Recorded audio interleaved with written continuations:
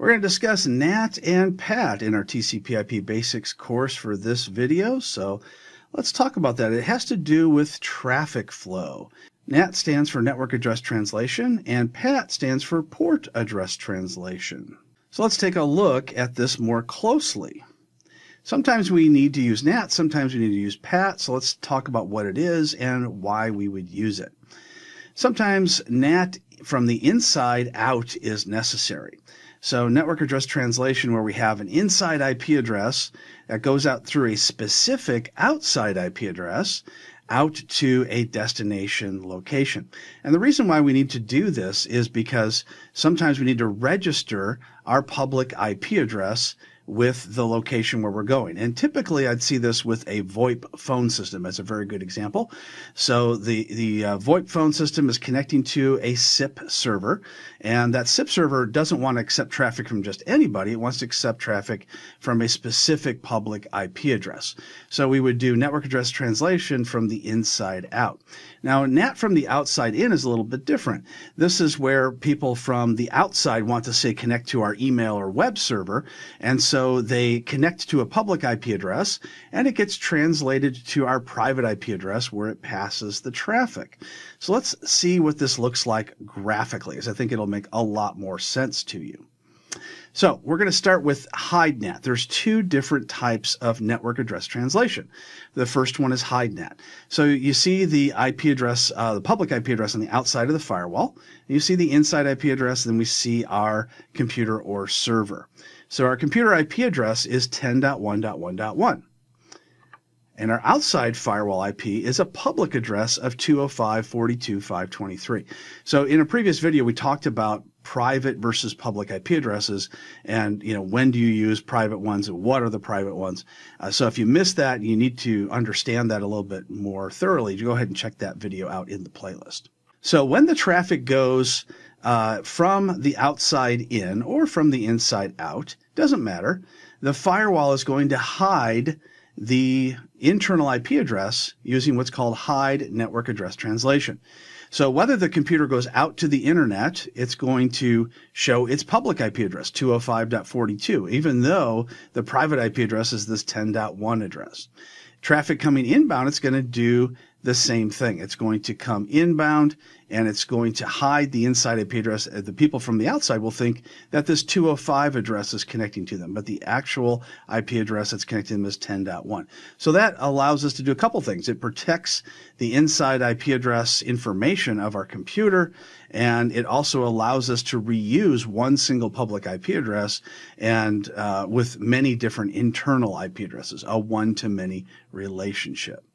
So it tells its destination, uh, say a website or wherever it's going, about the public IP, but not about the private IP. Now let's talk about static NAT. Now, once again, we don't use uh, inbound out for static NAT very often, but for a VoIP server, it makes sense. We mostly use static NAT for inbound traffic. And you can see the, the path that the traffic will take. So in this particular case, let's say we have a web and email server. It's a server all in one that does both web, and email.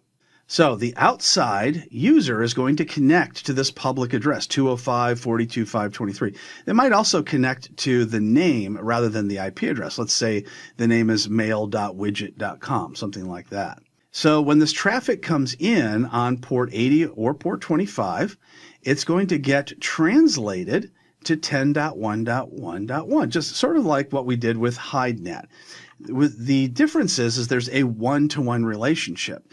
So instead of a one-to-many, where many different computers hide behind this public IP address, there's only one computer that hides behind this IP address, and any traffic that comes inbound for it is going to be translated and passed on to the web and email server computer that you see here. So that means that if you have a lot of different computers that need Hide NAT and you also have a computer that needs one to one NAT, then you're going to need a block of IP addresses from your ISP, from your internet service provider. And that's because, you know, if you only do a one to one NAT on the only IP address you have available, then you're going to have a real problem when the other computers try to go out to the internet. They won't be able to because there's nothing left to NAT. The outside never knows the inside IP. Just like in Hide NAT, the outside is translated to the inside. So they never know about what's going on on the inside. So again, there's a one to one relationship there. Web and email traffic is passed safely. So when does it make sense to have a static NAT setup?